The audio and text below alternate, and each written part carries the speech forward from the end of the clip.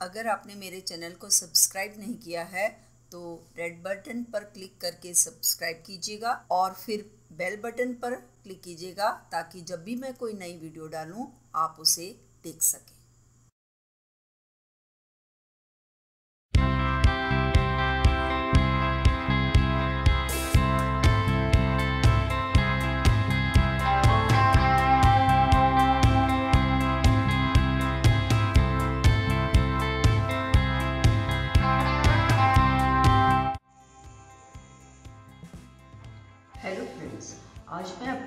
जा रही हूँ बेल बॉटम पैंट की स्टिचिंग इसकी कटिंग मैंने आपको अपनी प्रीवियस वीडियो में बता रखी है। बेल बॉटम पैंट में सबसे पहले हम इसकी इस क्रॉच लेंथ में जिप लगाएँगे। ये भी मैंने आपको पहले ही बता रखा है, जिसका लिंक आपको नीचे लिखे डिस्क्रिप्शन में मिल जाएगा। तो पहले मैं जिप लगाने के बाद आपको नेक्स्ट प्रोसीड करती हूँ।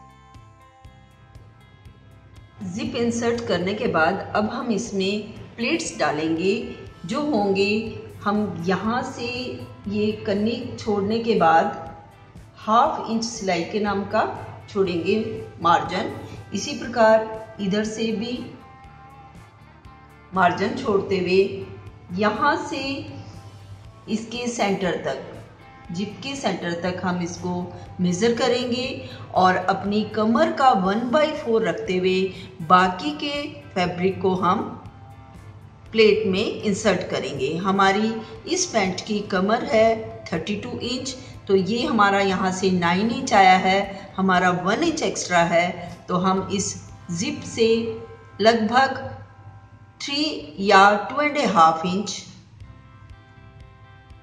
ऐसे रख करके इसके आगे वन इंच का प्लेट इंसर्ट करेंगे। और ये प्लेट हम ऑपोजिट साइड में इंसर्ट करेंगे और इसकी लेंथ होगी फाइव इंच तो मैं इसको ऑपोजिट साइड फ्लिप करके प्लेट्स के निशान लगा करके नेक्स्ट प्रोसीड करती हूँ। अब हम इन प्लेट्स को इस प्रकार मैच करके यहाँ से यहाँ इसकी स्टिचिंग कर देंगे।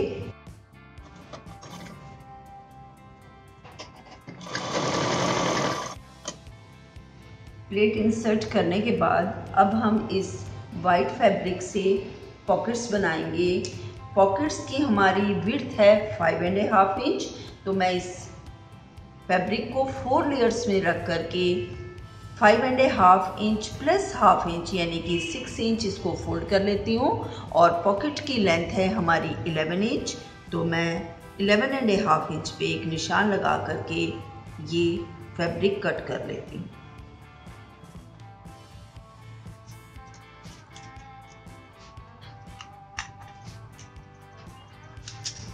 उसके बाद हम इस फैब्रिक को लगभग सेवन इंच के बाद पॉकेट की शेप देंगे इस प्रकार से।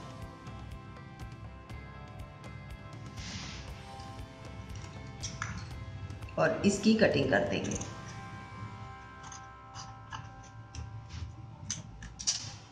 उसके बाद हमारे इस बेल बॉटम में इस प्रकार एक स्लांट कट है तो हम इसके टू लेयर्स में यहाँ से यहाँ एक स्लांट कट भी देंगे। ये स्लांट कट हमारा one and a half inch side से है और इधर से ये लगभग फाइव इंच के करीब है।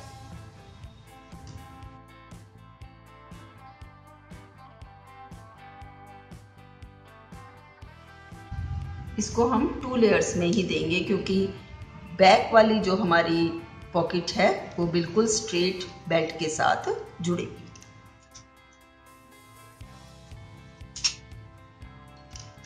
ये हमारी पॉकेट का सेंटर है। अब हम इसको ऐसे ओपन करते हैं और यहाँ से यहाँ लगभग four two five inch width में और इसके सेंटर तक इस फैब्रिक को इसके ऊपर पेस्ट करेंगे।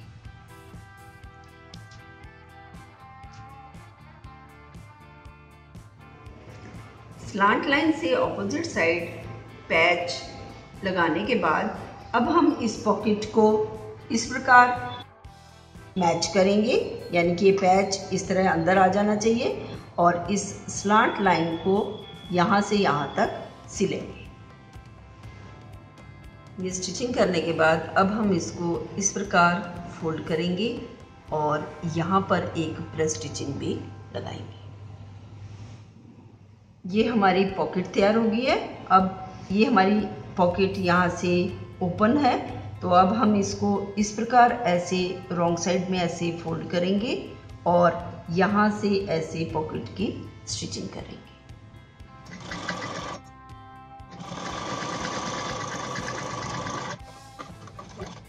स्टिचिंग करने के बाद अब हम पॉकेट में टॉप से वन एंड हाफ़ इंच का मार्क लगाएँगे।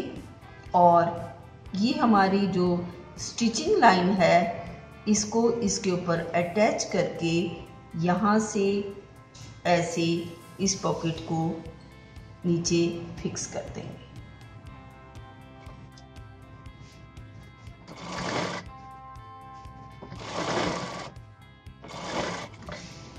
और ऐसा हम दोनों साइड करेंगे। इसके बाद हम इसको बैक साइड में इस प्रकार फ्लिप करेंगे और इस पॉकेट को इस प्रकार अपर साइड लगा करके यहाँ पर भी हल्की सी एक स्टिच लगाएँगे ताकि यहाँ से यहाँ ये हमारी बेल्ट स्ट्रेट लाइन में आ जाए।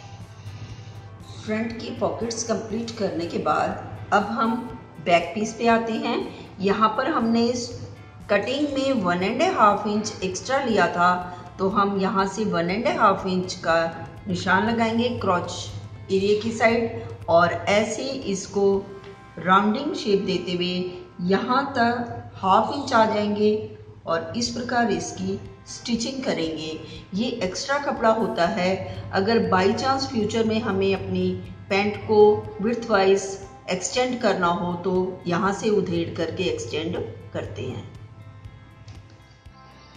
क्रॉच लेंथ की स्टिचिंग करने के बाद सिलाई का मार्जिन रखेंगे साइड से और अब हम इसका साइड से सेंटर तक मेज़र करेंगे। ये लगभग टेन इंच आया है। हमें ये एट इंच चाहिए क्योंकि हमारी कमर की विर्थ थर्टी टू है और उसका वन बाई फोर होगा एट इंच तो बाकी के फैब्रिक को हम यहाँ पर भी प्लेट डाल करके इंसर्ट करेंगे। उसके लिए हम यहाँ से लगभग थ्री एंड हाफ़ इंच का एक निशान लगाएँगे और ये एक्स्ट्रा हमारा टू इंच है तो हम यहाँ से टू इंच का एक मार्क और लगाएँगे और इसकी लेंथ सेंटर से फाइव इंच लेकर के इसको इस प्रकार जो है प्लेट इंसर्ट करेंगे। बैक साइड में ये प्लेट्स डालने के बाद अब हम फ्रंट और बैक को राइट टू राइट मैच करके साइड की स्टिचिंग करेंगे।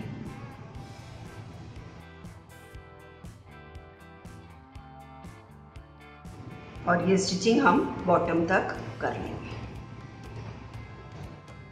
साइड की स्टिचिंग करने के बाद अब हम लूप्स तैयार करेंगे, जो मैंने आपको पहले भी बता रखे हैं। उसके बाद हम बैक साइड का ये क्रॉच लेंथ थोड़ा सा अंडू करेंगे और क्योंकि ये बेल्ट हम दो हिस्सों में कटिंग करते हैं, एक साइड से यहाँ तक पूरा इस कपड़े तक हम इसको मेज़र करेंगे और एक पार्ट काटेंगे बेल्ट रोल का और दूसरी साइड से भी मेज़र करके दूसरा पार्ट कटिंग करेंगे इस प्रकार से। बिल्कुल इसके कॉर्नर से स्टार्ट करेंगे और ऐसे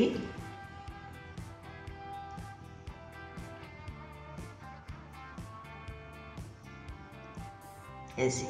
ये लगभग 21 एंड हाफ़ इंच एक साइड से आया है और दूसरी साइड से मेज़र करेंगे।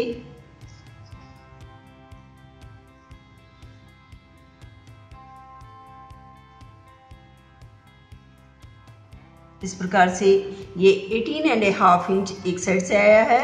तो जिस साइड से हमने इसको हुक्स लगाने हैं, उस साइड हम थ्री इंच एक्स्ट्रा कपड़ा लेंगे। यानी कि इस साइड जिस साइड 18 एंड हाफ़ इंच आया, उस साइड से हम थ्री इंच और प्लस करेंगे तो ये भी 21 एंड ए हाफ़ इंच हो जाएगा।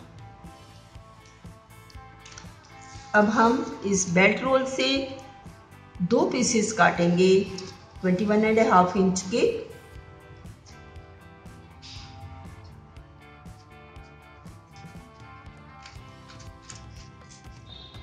बेल्ट पीस को पेस्ट करने के बाद अब हम इस पीस को इस प्रकार फोल्ड करेंगे और पहले यहाँ से यहाँ तक ही स्टिच करेंगे।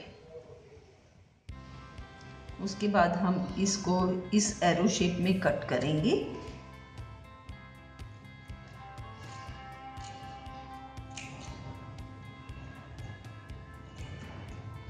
ये ऑप्शन है, आप इसको सीधा भी बना सकते हो।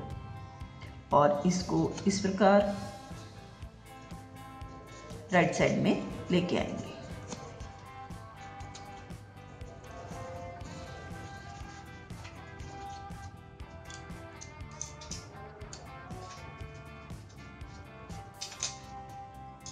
अब हम इस बेल्ट को ये फोल्डेड पार्ट से बेल बॉटम का रॉन्ग और इस बेल्ट के राइट को इस प्रकार स्टिच करेंगे और ये ऐसे स्टिच करते हुए बैक क्रॉच लेंथ तक जाएँगे। अब हम अपने मार्क्स के ऊपर ये लूप इस प्रकार इंसर्ट करेंगे। जैसे हम स्कर्ट्स में लगाते हैं।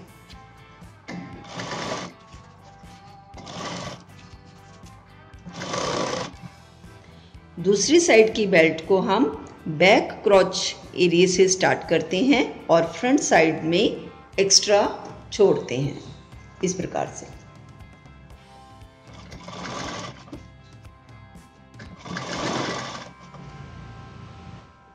इस प्रकार से हम फ्रंट साइड में लगभग three two three and half inch extra ये बेल्ट लेके आते हैं। उसके बाद हम इस पेंट फैब्रिक को बीच में रखेंगे और इस प्रकार इसको फोल्ड करके राइट साइड में ऐसे स्टिच करेंगे जैसे हम नॉर्मल बेड्स में करते हैं। उसके बाद इन लूप्स को फोल्ड करना बताऊँगी। अब हम अपर साइड में एक स्टिचिंग देंगे और इसको, यानी कि लूप्स को ऐसे फोल्ड करके स्टिच करेंगे। लूप ज्वाइन करने के बाद अब हम बैक साइड जाएँगे, जो हमने ये स्टिच अंडू की थी, इसको वापस हम यहाँ से बेल्ट तक स्टिच करेंगे। और उसके बाद इसको इस तरह से फोल्ड कर देंगे। ये स्टिचिंग करने के बाद अब हम इसमें हुक्स और लुक्स लगाएँगे और रॉन्ग साइड में ले जाके वन फुट होल से क्रॉच लेंथ लेते हुए दूसरे फुट होल को तक स्टिच करेंगे और टॉप से अपनी रिक्वायर्ड लेंथ लेकर के बॉटम विड्थ को फोल्ड कर देंगे। ये सब कंप्लीट करने के बाद मैं इसकी एक पिक अपलोड कर दूँगी। अगर आपको मेरी ये वीडियो पसंद आई है तो लाइक करें। अगर आप इस चैनल पे नए हैं तो सब्सक्राइब करें। नेक्स्ट वीडियो में मैं आपको एक नई कटिंग या एक नई स्टिचिंग आसान तरीके से समझाऊँगी। धन्यवाद।